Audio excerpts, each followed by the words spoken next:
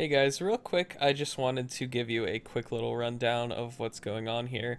So basically, um, if you don't know it already, I come from my YouTube channel. It's just called Divi.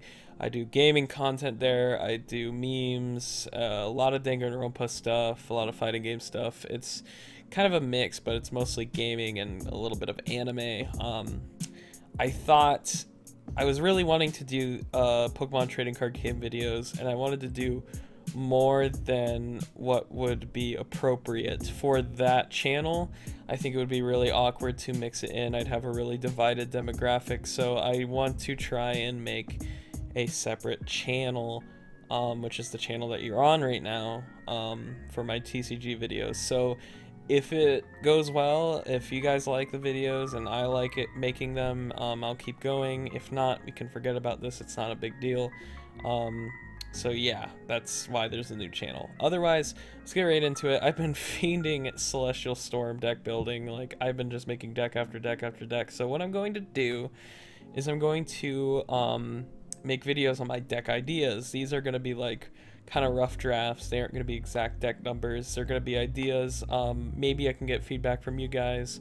Um, and I'll just keep posting ideas and the ones I end up building, I'll do full deck profiles for, and I might pit them against each other, um, get some friends to record some matches with me.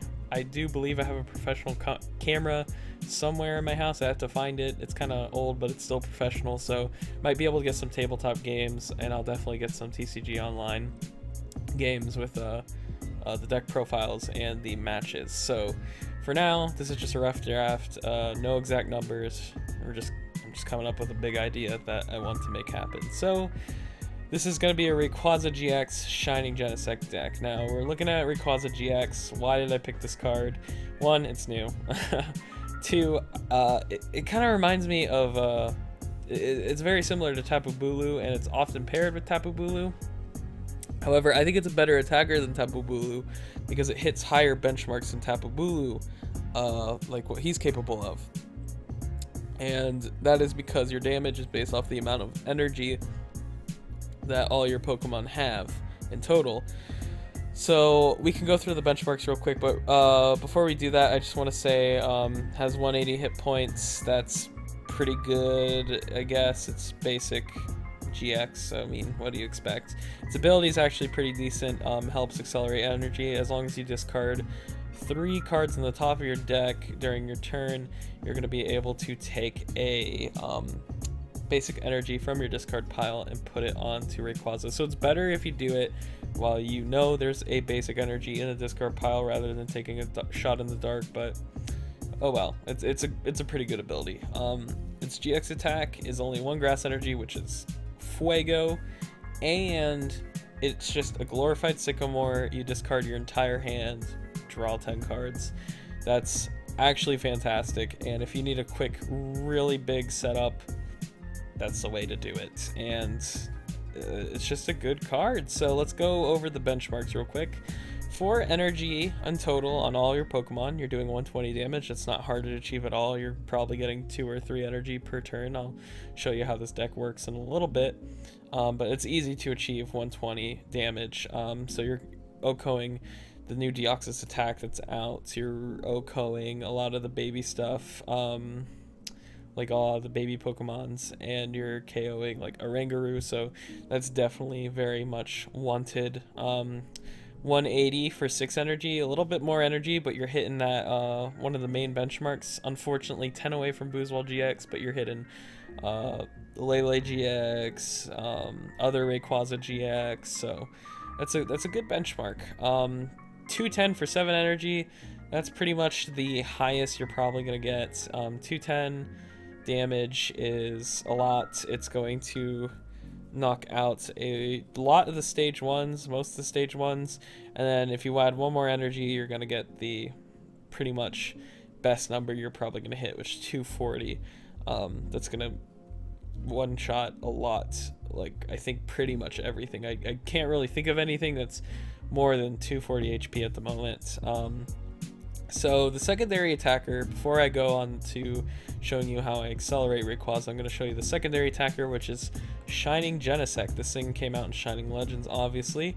I chose this because it's a grass type uh, with a really strong attack that can use the grass energy that Rayquaza needs, so it's pretty nice. Um, 130 HP and it's basic, that is phenomenal, especially for not being a GX, which means you can't use choice bands to kill this thing or to get to a higher number to kill this thing. So you're surviving naturally a Golisopod first impression. That's fantastic.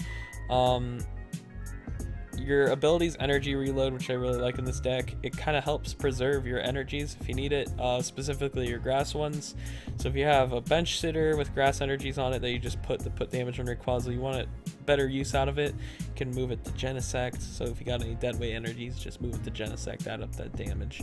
Um, another use could be like if your Rayquaza is beaten to hell and uh, he's probably going to die. He's sitting on your bench for no reason. Instead of letting you lose those energies to like a Tapu Koko, spreading damage out on the bench, uh, you can move it to Genesect real quick and keep an energy so you're keeping that damage for Rayquaza as well as adding up damage for Giant Genesect. So your uh, move as Gaia Blaster 50 damage plus 20 more times the amount of grass energy attached to this Pokemon. Unfortunately, you're realistically getting tops 3 energy on this thing, which is only 110 damage um, which is unfortunate. You are missing a lot by not getting that 120. However, I did think of a way to make this a lot better.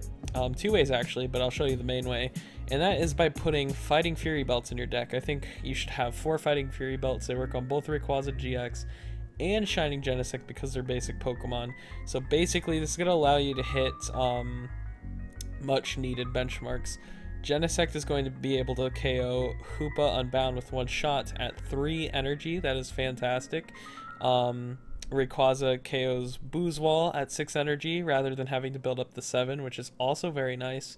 All while making them 40 HP tankier, meaning Genesect with 150 HP is kind of disgusting for uh, being a basic with uh, not being a GX. So, you know, choice bands aren't hitting that. There's not much that's killing that. Um, probably just really ridiculous attacks like Knuckle Impact or uh, Fire Pokemon that have weakness on it. So that makes it a bit more beefier, but the main thing is Rayquaza gets past a lot of annoying benchmarks. Um, it gets 220 HP, so it misses the 210 benchmark. It uh, misses all the 180 uh, benchmarks and um, things that are meant to KO Buzzwole with exactly 190 damage. They aren't going to kill Rayquaza as well. And uh, Rayquaza has a weakness to Fairy, so uh, I think that's really the only thing that's gonna. I think like Gardevoir GX would just murder it, but I think it lives Dedenne with a Fighting Fury belt, if I'm not wrong. I forget what the Dedenne does, but I heard somebody tell me that Dedenne can one shot Rayquaza GX, so that's pretty cool. Um, the way we're gonna accelerate this, the main method is Vikavolt. Uh, Vikavolt, we all know what he does. Strong Charge. You get a grass and electric energy uh, from your deck, and you just put them on any Pokemon any way you like. This is really nice since we need both an electric and a grass energy for Rayquaza. You have one of this, you get a Rayquaza setup in one turn. Um, a lot of people say it's clunky and they don't put it in Rayquaza GX decks. They think Rayquaza is better off on his own, but I think it's the most consistent way, even though it's a stage two, it's a very consistent way to make sure you're at least getting two energies per turn because your damage scales to your amount of energies on your Pokemon for both of your Pokemon. So it's very much just welcome in a deck like that. So basically you're getting two energies per turn. Uh, this gives you a 60 damage like plus per turn for Rayquaza GX and you also get 20 damage extra per turn for Genesect um, if you put the grass energies on Genesect. And even if you do put the grass energies on Genesect, one grass energy on Genesect is still 30 extra damage for Rayquaza, which is really nice. So I, I like it in this deck. It's consistent. You can choose whether to want... The can't speak English. Whether to run 2-1-2 or 3-2-3 with Vikavolt. It depends how much you need them. You definitely need two in your deck. You can't run a 1-1 or 1-1-1 or something crazy like that. Um, it's it's for consistency reasons, and um, one big flaw with Rayquaza GX is when they start getting knocked out, the damage starts getting low, and it's hard to pick yourself back up. So this guy kind of makes sure you keep your keep on your feet. Um, however, there is a second way we're going to accelerate this. This is the uh, last way you accelerate it, we're putting a what I would probably do is a 1-1 of uh, Venusaur and Bulbasaur since we're most likely running four rare candies. This is not something you're going to get every game, but I will go through my reasons of why I like having the 1-1 in this deck, why I think it's worth deck space. So basically, for two energies, you're just slamming Hoopa Unbound with Genesect. Two energies hits that 130 benchmark that you needed to get a Fighting Fury belt to kill um, Hoopa Unbound. So you don't even need that anymore. Um, other than like tankiness, you can focus on giving that to Rayquaza. That's super nice. All while doubling grass energy's worth, meaning that it only takes three grass energies to get Rayquaza up to 180 damage. That is gnarly, and you're gonna have Fighting Fury Belt on too, so that's 190 for three grass energies, and you're already gonna have the electric energy on there, so you're already there. It's I just see too many good things out of this card, and we don't have a lot um, on the bench other than Vikavolts, Genesects, and Rayquazas. So I think it, it can definitely fit. I don't think you'll get it every game. I just think you should definitely put it in. You could totally run just a lot more Vikavolt than having Venusaur in the deck at all, but I think Venusaur just has a really nice ability and you're running for rare candies. I don't see why not run 1-1 Venusaur, Bulbasaur. So that's my reasoning. Um, I'm sure a lot of people are going to disagree with me, but it's just something I think would be really nice with the deck. Um, that being said, don't rely on it. Now next we're gonna have Tapu Lele GX. I'd put like two in the deck, maybe three, probably just two. Um, basically, you know the gist. You get an Ultra Ball, search it out, put it on your bench. You get a turn one Brigette. Yes, you should play Brigette with this deck because you're gonna be evolving Pokemon, and your Rayquaza and your Genesect, which are main attackers, will be put on the bench. And this thing, remember, um, you can put GXs on the bench along with the regular ones because it's only EXs that uh, you can only have one of on the bench. So, yeah, very good card, very good combo. Um, that's your most reliable turn one setup. Now your last Pokemon you're putting in your deck is one Latias Prism Star. Rules with Prism Star is they get discarded. Uh, when they get discarded, you can't get them back because they're in the lost zone, and you can only have one of them in your deck. But this is just extra energy acceleration for one colorless energy, so any of your grass or electric energy, you do a little bit of poke, 30 damage, and you can move your uh, discarded energy to your basic dragons, which are your Quasi GX, so it's another option of building up your Rayquazas faster. If they need a little breather to recover, you can wall off. You're they're only taking one prize card for knocking out Latias, even though it's going to the lost zone and whatnot. Um, and it's also a good way to get your energies back if you're constantly losing your energies due to Team Flare Grunt shenanigans and um, just dying in general. So yeah, anyways, that's uh, the basics of the idea of the Rayquaza GX Shining Genesect deck that I kind of came up with.